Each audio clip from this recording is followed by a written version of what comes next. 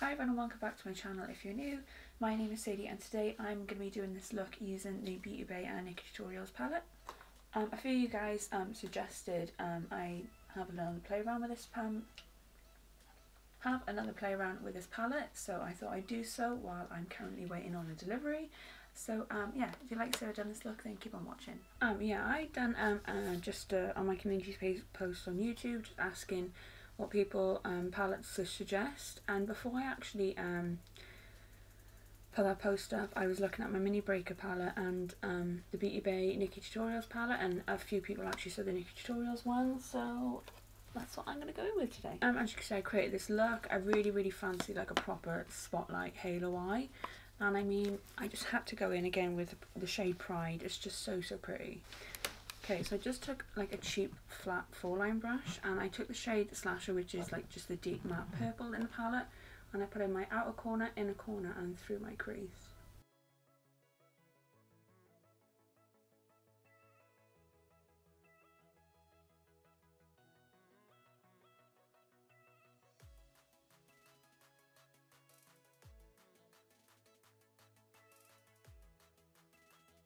I've kept it in like this um, circular motion because obviously the halo eye you want it to be a bit more rounder. I mean I have done ones where I like smoke it out but I fancied a round look today. I then took an Urban Decay blending brush and I took the shade Mikai which is the red in the palette and I sort of just stamped it on just on the edge of that um, slasher shade.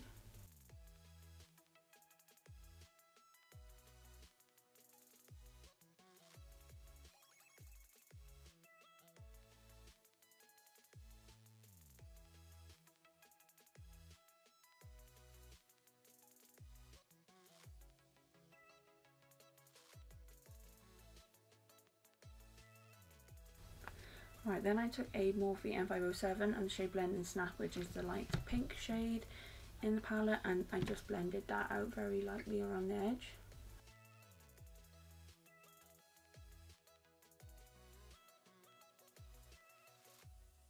Obviously, first go around, don't do this like too precise because I'm going to go back in and blend everything out a little bit better.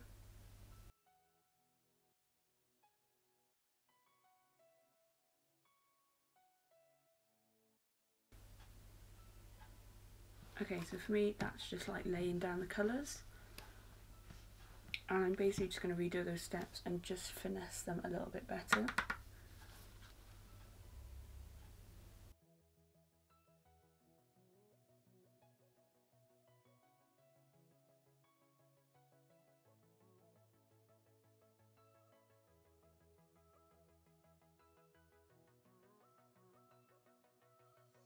Alright, for the second go that blend and snap shade is where I'm really going to really blend this out a little bit more. I'm really sorry about the lighting. There's a massive dark cloud that's just come over.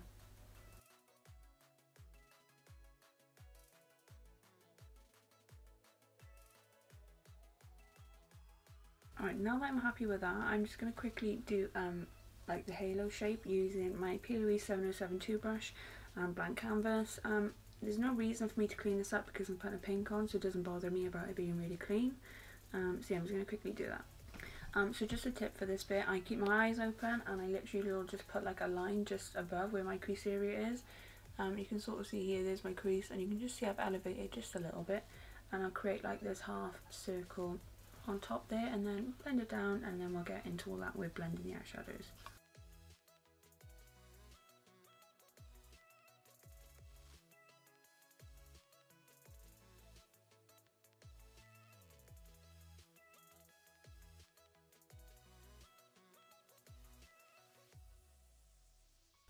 I'm just going to get my finger and blend the edges a little bit. Alright, grab the same brush I had slash on and I just blended the edges a little bit more.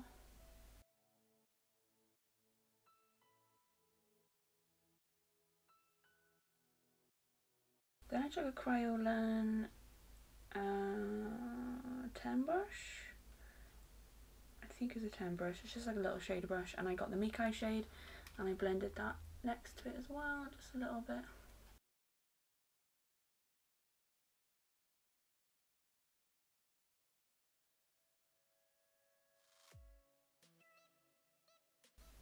just roughly because I'm going to put the Pride shade on top anyway. So just my finger first, I'm going to take that Pride shade and I just mean, oh, watch it, watch it go on, watch it go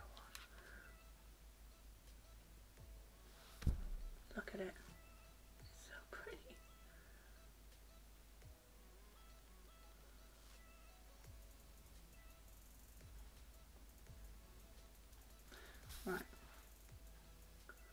I've popped that on, I put a little bit more on.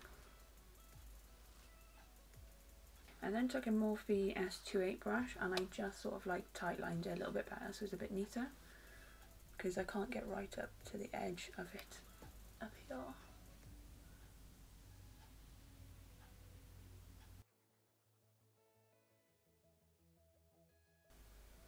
Um, so that is like literally it for the top bit. Um, right, let's go on to the bottom. Alright, um, I don't know what more, what, what, what, um, hold on.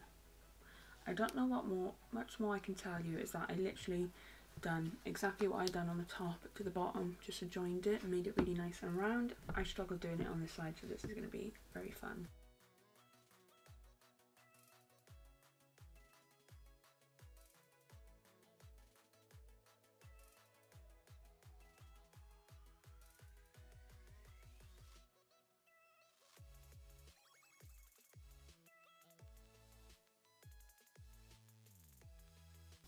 Okay, now that I'm pretty happy with that, I'm going to go in with a waterline colour. And I was actually downstairs to get my blank canvas and I got this recently and I was like, I've got to incorporate this.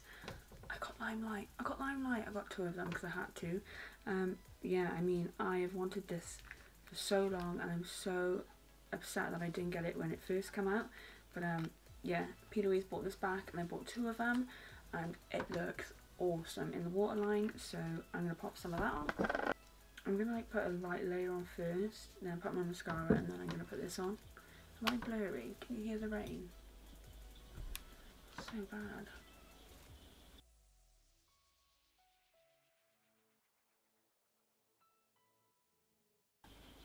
Right, that's one light little layer. I'm going to pop some mascara on my water, waterline, lash line.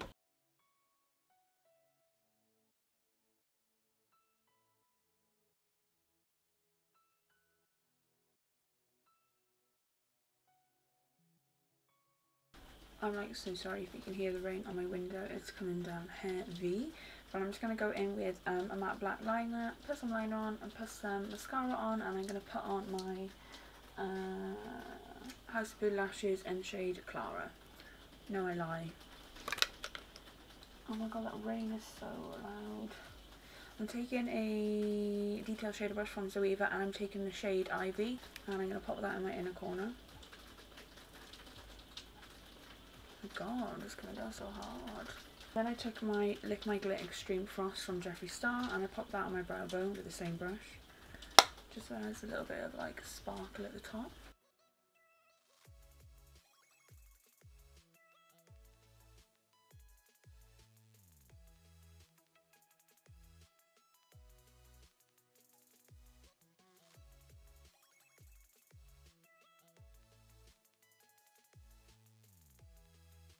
Alright, so there we have it. It's very short and sweet, but um, yeah, I'm not going to go off, do my base, and I'll be right back.